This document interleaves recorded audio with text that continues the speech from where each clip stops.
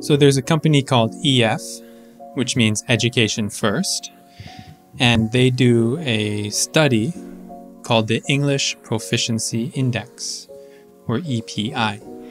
So it's called the EF EPI. And it ranks countries around the world by English proficiency. And the most recent one came out in 2021 and they used 2 million people around the world who took a test, and they used that data to calculate which country had the highest English proficiency around the world. And we're going to go through the top 10 countries, and I'll tell you one cool fact about each country as it pertains to their English speaking. But the report had a few conclusions, which we'll go through first. So, the first one is that exports and gross national income and innovation all correlate positively with English proficiency. The second one, English proficiency levels are evolving at different rates in different countries, including a few countries with declining English skills. So some countries are actually getting worse at English, while other countries are improving at different rates. And the third conclusion Europe has the highest proficiency in English, while the Middle East averages the lowest. And that's why you'll see on this list, nine out of 10 of them are European countries. Um, so See if you can guess what is the only non European country on the list. And also, they, they don't measure um, English speaking countries where English is the native language. So, so like the UK or Canada or the United States are not included because they already speak English natively. So the number one country is Netherlands. So let me just read this interesting fact.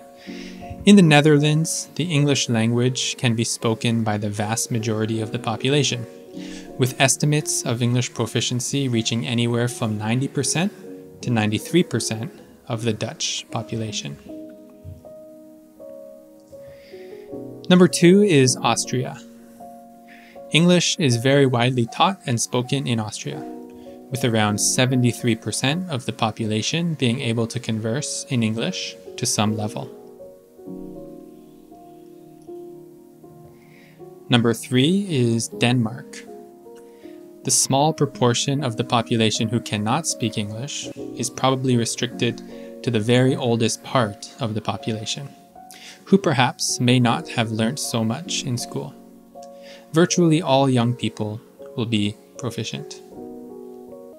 Number four, Singapore. That's the uh, the only non-European country. So, in Singapore, English is a working language that serves the economy and development, and is associated with the broader global community. Mean- meanwhile, the rest are mother tongues that are associated with the country's culture. So Singapore, number four. Number five, Norway. All school children are taught English from around the age of six right through the rest of their schooling years, and so are competent when they reach adulthood. Many of them also learn second languages such as German, French, and Spanish. Okay, number six, Belgium. On the EF English Proficiency Index, Belgium ranked 5 out of 35 European countries measured. Belgium is a multilingual nation, and the citizens speak many languages, including French, German, and Dutch. Okay, and then we have Portugal. Um, Portugal at number 7. According to estimates, anything between a quarter and a third of Portuguese people can speak English, which is considerably higher than in neighboring countries like Spain and Italy.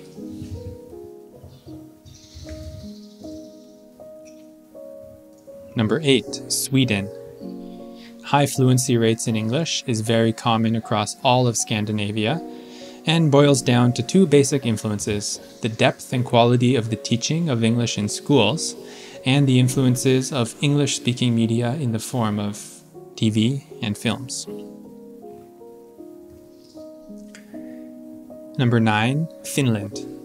English has been taught in Finnish schools for a very long time now, so most people, except the very oldest generations, will be able to speak it to some degree many of them very fluently.